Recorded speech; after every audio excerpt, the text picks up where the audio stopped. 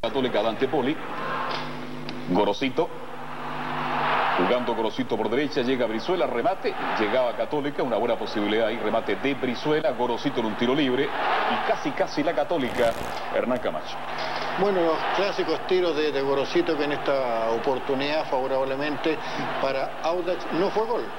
Y aquí le gana Reyes la posición a Ormazábal y casi Audax Jorge Cortés. Un buen control orientado de Rey, afortunadamente para Católica no completó. Y aquí Gorosito, vamos a reiterar esta jugada que es un excelente gol de Brizuela.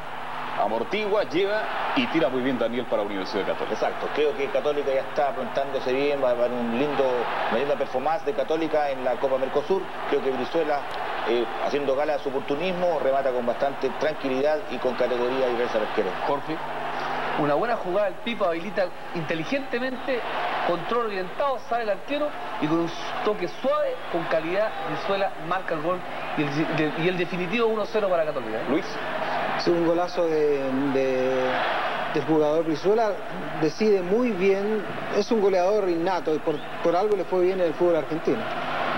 Ahí estamos retirando otra carga. Este es Río Máximo, media vuelta y que había en San Martín para desviar. ¿ah? Sí, también bueno lo de Rodrigo Río. Muy buena, muy buen control y la buena vuelta y el remate esquinado. ¿eh? Ahí está Gorosito, Rosenthal.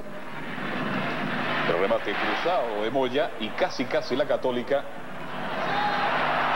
Una excelente llegada del cuadro. Hernán Camacho.